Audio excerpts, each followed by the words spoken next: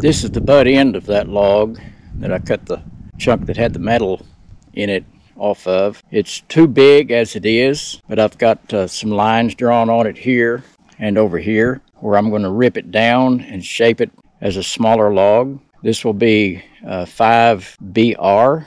It will go on the right side of the window. These pieces will be the total length uh, notch and the two inch overhang and the length of the log inside the room will be four foot four and a half. And I have two of those to cut and I was using up some of my extra pieces that I had cut off so that I wouldn't have any waste. And this was big enough that I could trim it down and make it work.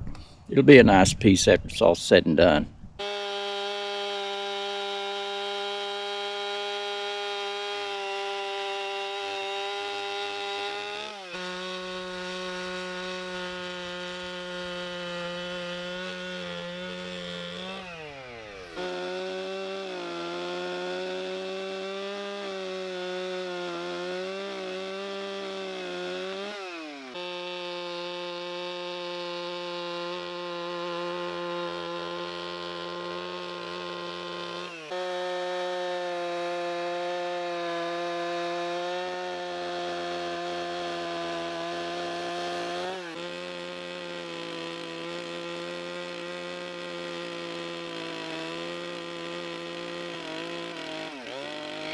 Now I can knock the uh, sharp edges off and round this like it was uh, the natural round shape of a tree. And you'll never know that this piece was a lot bigger than what it ends up to be.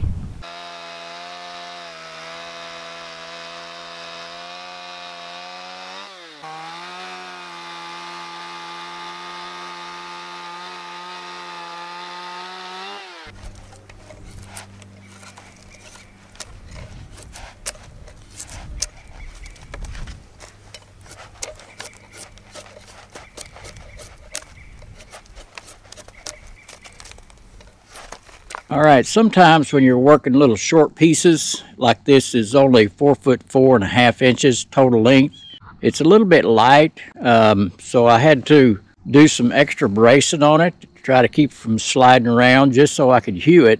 Uh, you get into that occasionally, working some, some pieces that are, are short, like this log here is. So I had to put another brace on there and fix it to where it wouldn't slide around so that I could hew it.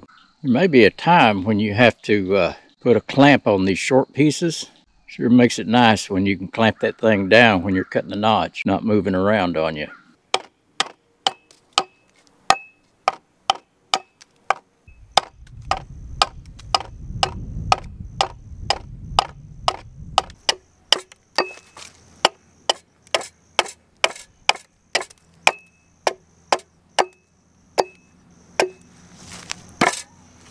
Now all I got to do is put some Anchorseal on the notch and on this flat spot and this log is ready to put on the wall. This is 5, round 5 A wall. There are actually three separate pieces in this particular log. I have 5 AL and this is 5 AM which actually is a middle piece which will go between uh, the doorway and the window opening and 5AR.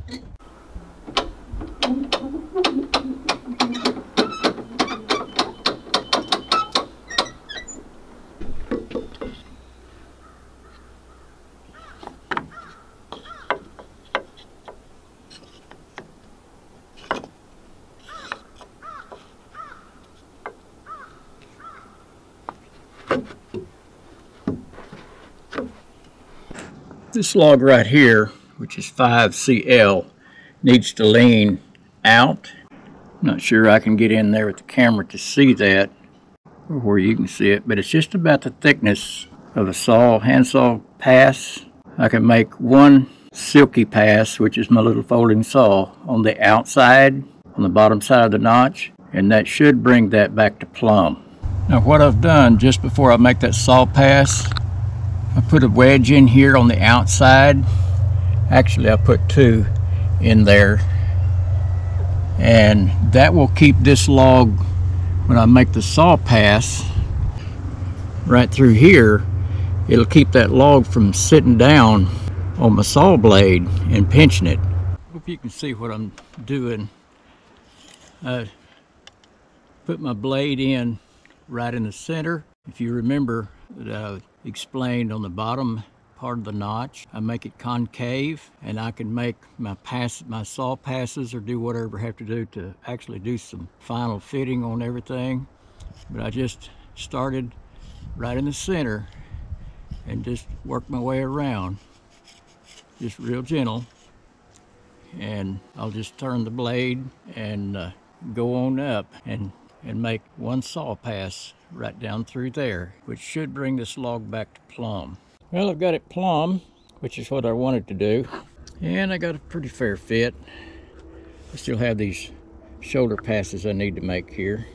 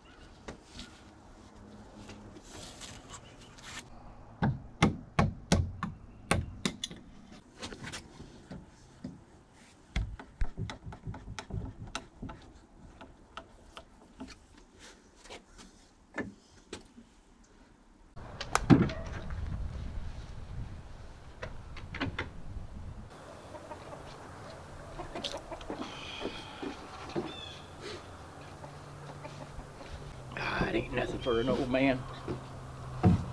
Got it with one arm.